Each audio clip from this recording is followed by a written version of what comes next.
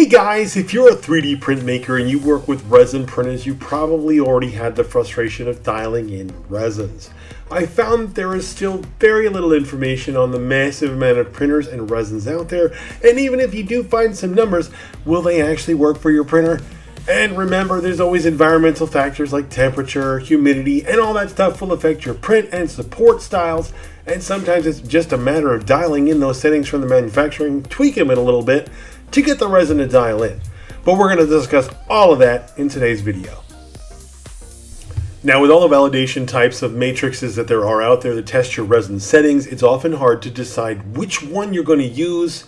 And honestly, do any of them make any sense? Because some of them are just strange. I'm not really sure how to read some of the actual results on some of these particular tests, but I do know the one that I like to use the most, which is the AmeraLabs test print. It takes a bit longer. At my particular settings, I think it takes about an hour and 20 minutes. Maybe it's like an hour and 10. But the result is essentially a good looking print that you can go, okay, this looks good. Came out good. I'm good. Uh, and of course, this is only when you're dialing in new resins. If you're working with material that you're familiar with, you should probably just do yourself a favor and save that profile so you have that resin profile saved in your slicer and you can go back to it at any point. Now, remember, the settings that you're looking at here are for my particular printers using the particular resin that we're using.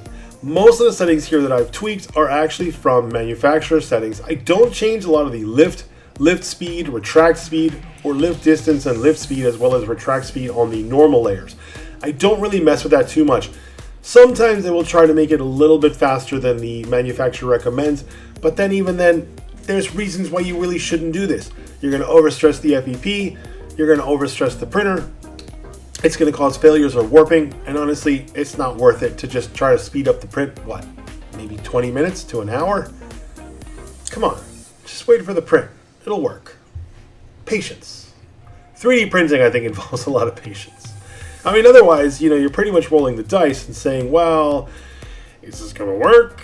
Is this not going to work? I mean, you know, no one really wants to roll the dice on failures or successes when it comes to 3D prints. Materials are expensive, and I mean, personally, I don't like cleaning vats up, so I like my prints to work.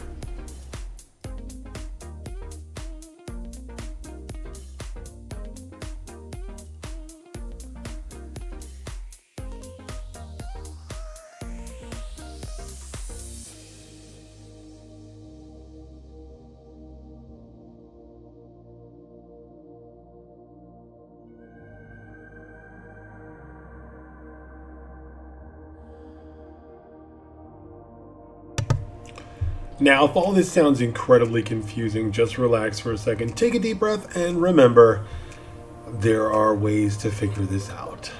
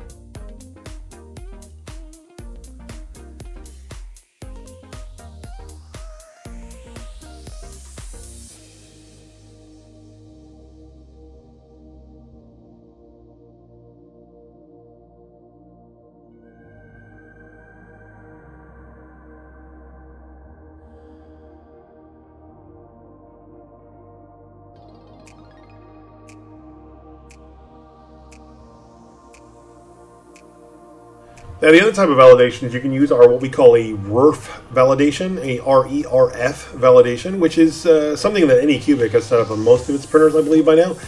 This particular setup was created uh, for the Mono S, but you can alternate the validation ports around the build plate to have about eight zones to test at once. Each zone will expose at a different uh, exposure time, exposure setting. Um, so it is the fastest way to check a bunch of settings at once. But if you are like me and you just kind of overexpose a little and work down from there, the RERF option is great for just testing out new resins if you're trying to build or, or, or you're in a new building environment. Um, that's often some of the times that I would see that being most useful. Otherwise, it's kind of overkill to print eight test plates at once, unless you're really trying to get the most optimal speed in which case you're really trying to optimize on speed. You're not really trying to optimize on quality, in which case just expose at the lower lowest time possible. And if that works, great, then move ahead with that. Um, honestly, otherwise, don't waste your time doing RERF uh, exposure validations. It's, it's a lot of additional testing to be doing at once. You're doing using a lot more resin. Um, and what you know you honestly your outcomes are going to be you know slight failures on one side and really overexposed on one side that's really what you're going to wind up with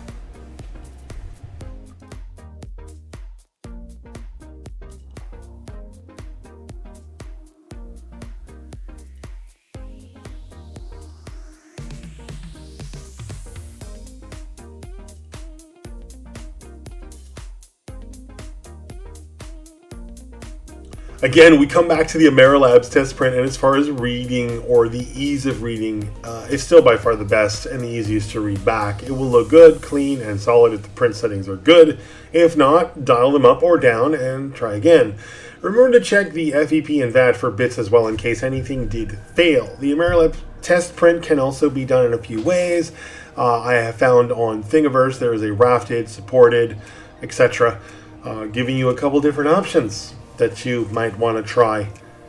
Again, I mean, I don't recommend supporting something like that and then trying to do it as a test print. That's just going to make it take longer. And I mean, what are you really testing? The supports or the object?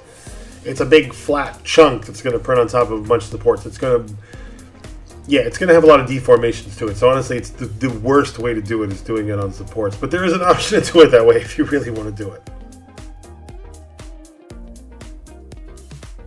Now remember, folks, even if your test print was perfect, like perfect, like the whole thing came out great, you had the AmeraLabs test print, it's printed great, everything's fine. That does not mean every print you have will work.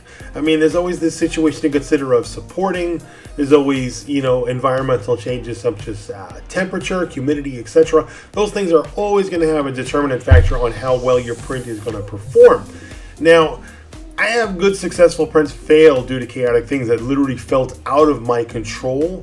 But for the most part, if you follow what the manufacturer is recommending for your particular printer, and then you follow what the manufacturer is recommending for your exposure settings and layer and burn-in time for a particular resin, which do usually come on the bottle, um, it usually will work. Um, unless, of course, that particular resin is really just not meant for your model of printer. Now, this is something that people do run into occasionally where they buy a resin that is actually very high end and it's meant for very high end printers that have very powerful UV systems. The ones that they're using do not, and therefore, I think what's happening is, there's a disconnection in the quality that's happening between the printer itself and the resin quality. You're expecting something from your printer that it can't perform. And I think that is probably part of the issue sometimes. I do see a lot of uh, threads and forums and things like that where people are constantly talking about validation failures or resin failures or different types of resins. And a lot of times that has to do with people using a resin that is not either recommended or made for that particular type of printer, and they're trying to dial in a result that is going to work. And it may not even be possible. So it could just be the result of just, it's just not going to work.